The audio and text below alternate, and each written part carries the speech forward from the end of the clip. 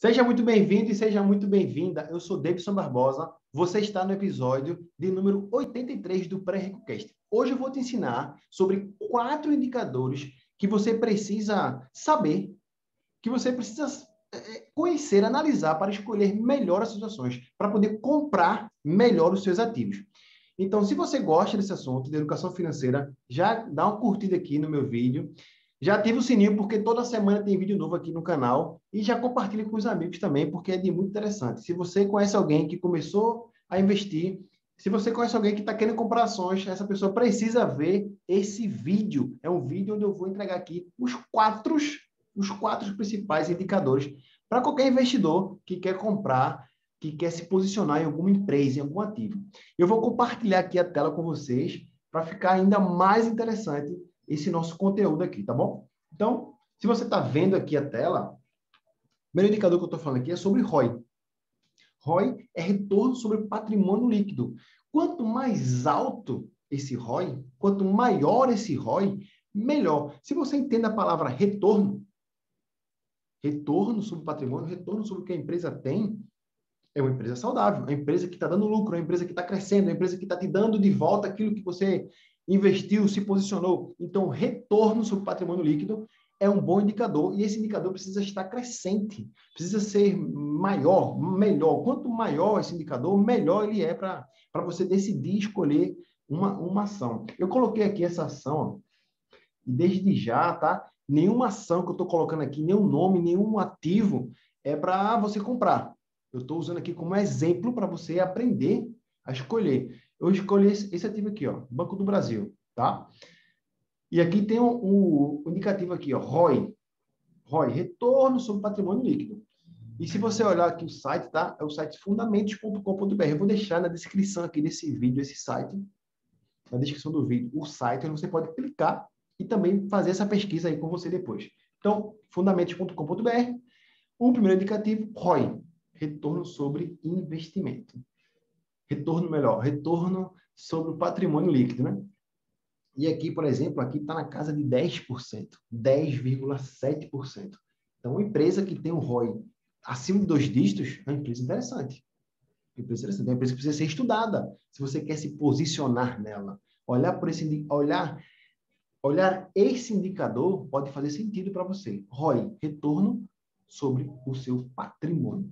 Beleza? O segundo indicador, que aqui não tem enrolação não, a gente vai já direto ao assunto, né? O segundo indicador é o preço da ação, PL, né? Preço da ação dividido pelo lucro por ação.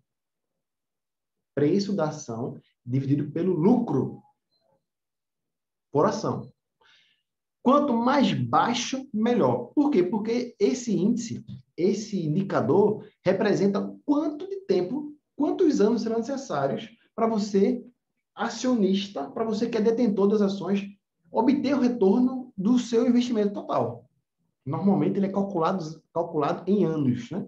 Quanto esse, esse, esse, esse indicador, o número desse indicador, ele vai te dar assim, quantos anos precisa para você ter o seu dinheiro de volta investido nessa empresa. Então, PL é o preço da ação dividido, dividido pelo lucro por ação, o lucro de cada açãozinha, como se a empresa fosse uma única ação. Beleza? Eu já fui no fundamento, já separei aqui uma empresa para vocês dar uma olhada, tá? Eu fui aqui no fundamento coloquei essa empresa aqui, ó. Você que está vendo, eu não vou nem falar aqui, porque falar o nome da empresa pode caracterizar que eu estou mandando você comprar. Não é para comprar essa ação. É para você olhar, entender como exemplo, como eu estou fazendo aqui para olhar, ver esse indicador.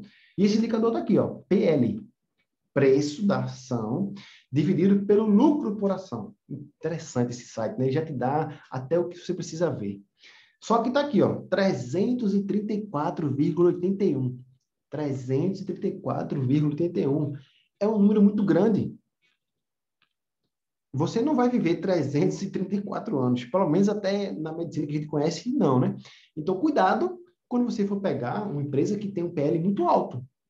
O seu retorno pode demorar muito. E óbvio, óbvio, né, Davidson, que você não vai olhar só um indicador para escolher a ação. Você precisa olhar vários indicadores. Precisa comparar com outras empresas também. Né? Comparar com outras empresas do setor.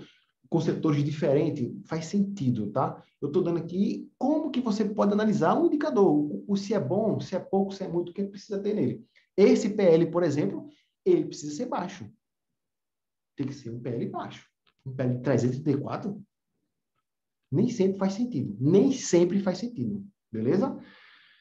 Vamos agora para o terceiro indicador. O terceiro indicador aqui é o dividend yield. Quanto maior o dividend yield, mais a empresa te paga. É quantos por cento você recebe por estar posicionado, por ter aquela ação. Eu já separei aqui também no fundamento. Dividend yield. Ah, separei essa empresa aqui, ó, Copel. É uma empresa de energia elétrica do Brasil, aqui no Brasil, na Copel. E o que acontece? O dividend yield dela é de 13,1. Não tem Copel, inclusive, na minha carteira, tá? É só um exemplo de novo, para você achar que, não precisa, que é para comprar essa empresa. Não é para comprar essa empresa, é para estudar a empresa, é para estudar o indicador. O que é que o indicador está te dizendo? O dividend yield é quanto de porcentagem ele está te, te, dando. O, o quanto você tá, vai receber por, por ter essa ação dessa empresa. Só para a gente ter uma ideia aqui sobre é, porcentagens, visto que você já quer comprar ações, você já deve ter um, um pouco de conhecimento no mercado, né? Aí existe a taxa Selic, que é a taxa que rege o mercado, a taxa mãe que rege o mercado. E a taxa Selic hoje está abaixo de 3. No momento que eu estou gravando esse vídeo aqui, em abril de 2021, a taxa Selic está 2,75. Se você tiver Tesouro Selic sobre sua posse, você vai receber 2,75. Se você tiver essa empresa sobre sua posse, você vai receber 3,1. Isso, outra coisa, né? Você está olhando o passado, tá? Você está olhando o passado. E eu vou dizer já aqui um, um problema que pode acontecer. Energia elétrica. Essa empresa tem energia limpa? Essa empresa defende energia eólica, energia solar? Não sei, não estou olhando para isso agora. Eu estou analisando o quanto ela me pagou dividendo. E óbvio que eu já estudei essa empresa. Né? Inclusive, foi uma das empresas que mais pagou dividendo no ano passado uma da gente tem outras também que pagaram bons dividendos. Então, uma empresa que tem o dividendo de 13, né, é no mínimo interessante para você dar uma olhada nessas empresas, né? Beleza? Acima de 10, por exemplo. Então, dividendo yield, quanto maior, melhor. Quanto maior, mais chance de você tem de, se, de receber ali a, o, o, retorno ali, o, o, seu patrimônio vai crescer e tal. O que você vai fazer quando receber esse dinheiro, eu não sei também, né? Você pode reinvestir, né? Talvez seja a parte mais inteligente principalmente para quem está começando, porque a gente entra no mundo dos investimentos já querendo se beneficiar. E não é essa a proposta, não é essa uma estratégia que eu adoto, por exemplo, e meus, meus alunos adotam, adotam também, tá bom? O último indicador aqui, já para a gente chegar no final desse vídeo, que aqui é direto ao assunto, né? É dívida bruta sobre patrimônio líquido. Bom, a palavra dívida, no seu contexto geral, ela representa algo ruim. Né? Se você não é um bom gestor, se você não está pegando capital ali para crescer, para montar outra filial, para construir outra fábrica em outro, em outro estado, se você não é realmente o cara que está dando a mão ali, o braço, se endividar nem sempre é uma coisa boa, saudável, principalmente para pessoas. Para empresas, pode fazer sentido, que é como ela consegue crescer mais, gerar mais emprego, abrir outras filiais. Ter dívidas para empresas estruturadas, empresas que, que, que já se já, já tem mais de 5, 10 anos no mercado, se endividar pode ser estratégico. Então, nem sempre dívida é ruim. Para pessoas físicas, às vezes é ruim. Agora, a pessoa que pega uma dívida, pega um empréstimo para abrir um negócio, para crescer, é a mesma lógica, o mesmo pensamento. Então, de qualquer forma, uma empresa que está muito endividada, dividido por tudo que ela tem, pelo seu patrimônio, tá? Obviamente, estou sendo bem didático aqui, né? Se ela vender tudo e pagar as dívidas, ainda vai sobrar alguma coisa. Beleza? É esse pensamento que a gente tem que ter aqui. Então, quanto mais baixo esse indicador, quanto mais baixo, melhor. É, quer dizer que a empresa, mesmo tomando dívidas, ela está usando esse dinheiro para crescer, mas se tudo der errado, se ela vender tudo, ela vai ficar, vai sobrar dinheiro. Vamos pensar assim, né? E a dívida, é, esse indicador aqui está aqui também. Ó. Vou separar a empresa aqui. Ó separei uma empresa aqui chamada B3SA3, também do setor financeiro, mas na parte de seguros, vou pensar assim, né? Da mesmo, do mesma outra empresa que eu falei aqui no começo. E tá aqui, ó, dívida bruta sobre, sobre patrimônio líquido, né? 0,29. Dívida bruta dividido pelo patrimônio líquido. Tá aqui, você pode botar aqui o, o mouse aqui, ele vai dizer o que é, né? dívida inclusive com debêntures, né? O quanto ela emitiu aí para poder arrecadar capital para crescer, ou para expandir, ou para contratar mais gente, ou para oferecer mais serviço, não sei. Mas o indicador dívida, ele deve ser um contexto geral mais baixo. Tem que, ter, tem que ser baixo. Porque abaixo de 1, abaixo de meio, essa empresa aqui é 0,29. Empresa pouco endividada. Olhando para esse indicador, parece ser uma empresa interessante. Parece ser.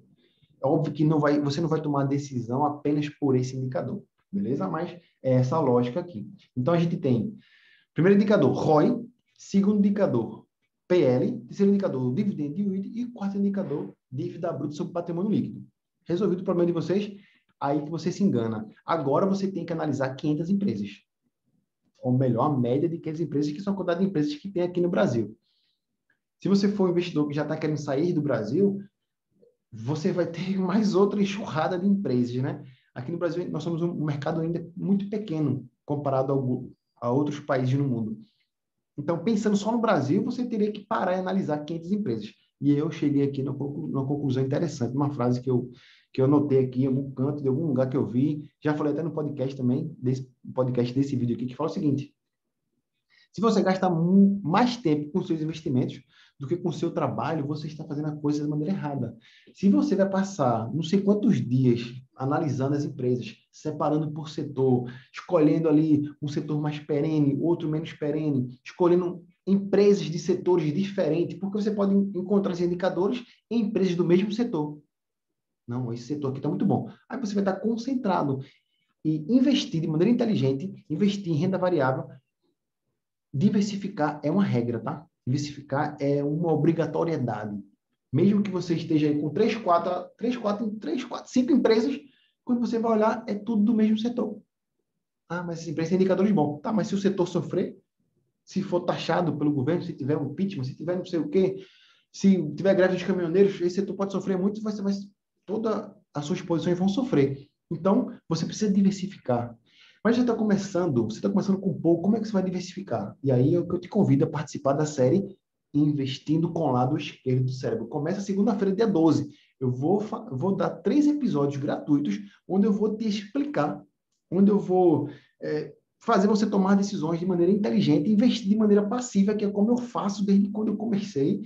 Na verdade, eu, eu tentei passar um ano de maneira ativa e eu vi que não faz tanto sentido assim, principalmente para pessoas físicas comuns, que o Arthur fala bastante lá no, no, no perfil dele, né? Você, que, você tem que focar mais no seu trabalho para gerar fontes de renda, para o fluxo de dinheiro entrar. Se você gasta muito tempo, eu passei uma semana para investir 100 reais na empresa. Passei dois meses estudando a empresa para fazer um aporte. Hã? Como é que é isso? Não faz sentido isso. Existem outros mecanismos. Por exemplo, fundos. Apesar que a indústria de fundos também é gigantesca, mas existe também ETFs. São fundos de índice que vai replicar índice. Então, se você está começando, começar com a gestão passiva é muito inteligente. É muito inteligente. Você vai poder replicar as 500 maiores empresas americanas. Você vai poder replicar as 80 maiores empresas do Brasil. Então, deixa eu até parar aqui o compartilhamento, né? Entendeu qual é a jogada? Então, faz o seguinte.